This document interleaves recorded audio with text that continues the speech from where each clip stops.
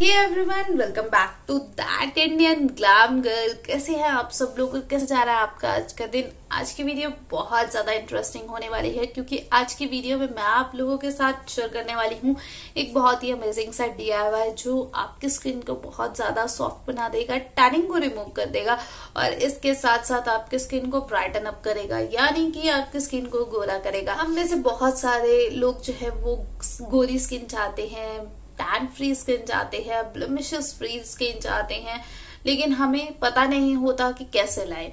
कैसे करें? Home remedies भी हम बहुत ज़्यादा ट्राई करते हैं और इसके साथ साथ हम जो है मार्केट प्रोडक्ट्स भी इस्तेमाल करते हैं, लेकिन उसे इस्तेमाल करने का बहुत ही सही तरीका होता है।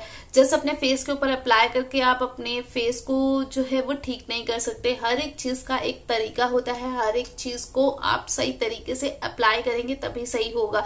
जिस तरीके से मेकअप ब्रशेस मेकअप को फ्लोलेस बनाते हैं, लेकिन अगर आप उसे सही तरीके से इस्तेमाल नहीं करेंगे तो वो आपकी स्किन को डैमेज भी कर सकते हैं। जैसे कि अगर आप अपने स्किन को क्लियर रखना चाहते हैं पिंपल फ्री इन्फेक्शन फ्री रखना चाहते हैं तो ब्रशेस को आपको हर रोज क्लीन करना है। हर रोज नहीं मतलब यूज़ करके टाइमली आपको क्लीन करना है। उसी तरीके से अगर आप होम रेमेडीज को ठीक तरीके से थ्री ठीक टाइम पे इस्तेमाल नहीं करेंगे तो वो आपको नुकसान ही देगी। तो किस तरीके से हमें ठीक तरीके से इस्तेमाल करना है वो आज की वीडियो में बताऊँगी। और हाँ यहाँ पर मैं आपको ये नहीं बताऊँगी कि आप काले से गोरे हो जाएँगे या सांवले से गोरे हो जाएँगे। गोरे का मतलब यानी कि आप अपनी नेचुरल स्किन टाइप पे आ जाएँगे।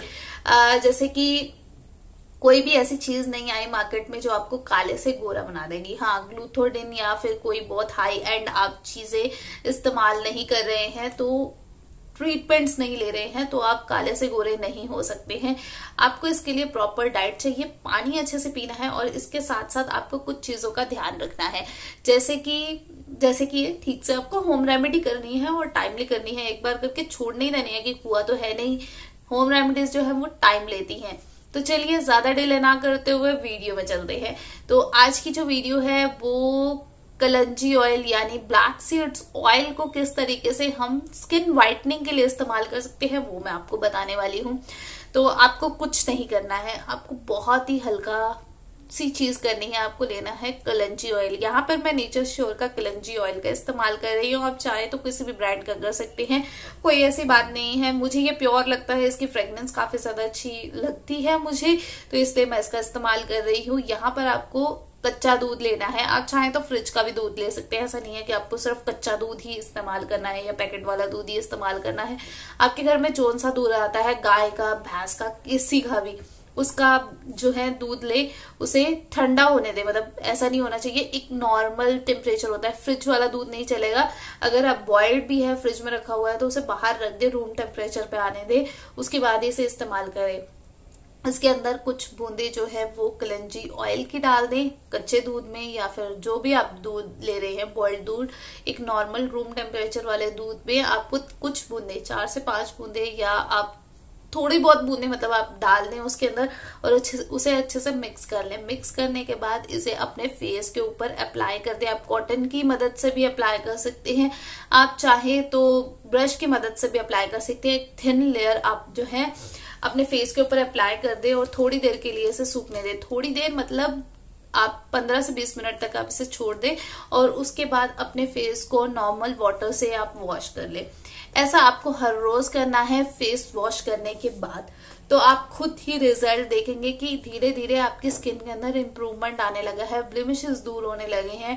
इसके साथ साथ आपकी स्किन के अंदर से टैनिंग निकलने लगी है।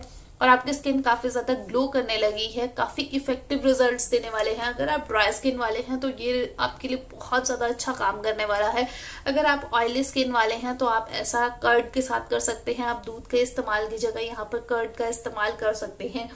और अगर आप नेचुरल नॉर्मल स्किन टाइप वाले हैं तो आप दोनों में से किसी भी मेथड को इस्तेमाल कर सकते हैं। बहुत ज़्यादा बहुत ज़्यादा सिंपल सा मेथड है और आपको एक महीना आपको करके देखना है। धीरे धीरे आपको मतलब एक वीक के बाद रिजल्ट्स दिखने शुरू हो जाएँगे। आपकी स्किन जो है, वो ठीक से काम करने लगेगी, ठीक से वर्क करने लगेगी। और हाँ यहाँ पर एक डिस्क्लेमर देना चाहूँगी स्किन थोड़ी सी स्ट्रेची हो सकती है और कलंची ऑयल के कारण आपकी आँखों में से पानी आ सकता है तो डरे नहीं, ये एक बहुत ज़्यादा नॉर्मल चीज़ है। इसके अलावा आप आप जो है एक बार अगर आपकी स्किन एक्सट्रीम सेंसिटिव है तो एक बार पैच टेस्ट यहाँ नेक के पास कर सकते हैं। थोड़ी देर लगाकर देखिए, अगर रैशेज वगैरह नहीं पड़ रहे, तभी आप किसी भी चीज़ को मतलब इस्तेमाल करने से पहले एक बार पैच टेस्ट कर लेना।